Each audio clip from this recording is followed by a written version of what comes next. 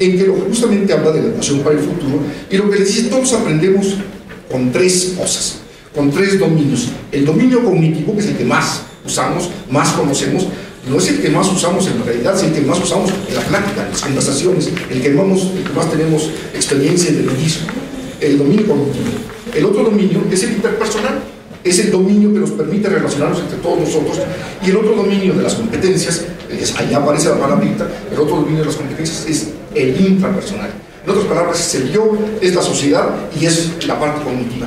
No se sabe cuántas competencias, sé perfectamente que todo tiene ocho, pero no se sabe cuántas competencias realmente hay. Lo que se dice, los tres grandes dominios son estos tres, y esos se ramifican en muchísimas competencias.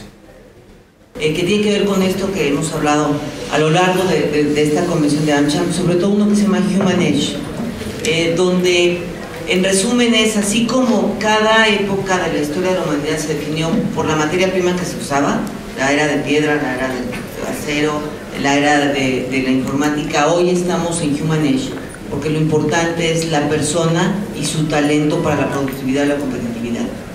Em, seguramente ustedes están conscientes de e, esta problemática que estamos viendo de poblaciones envejecidas en ciertos países, bonos demográficos en otros como Latinoamérica, pero al mismo tiempo sofisticación de los mercados.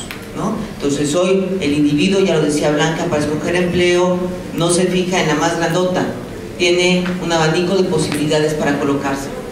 Lo mismo la empresa, nada más que la empresa está más complicado porque talento como el que queremos es poco.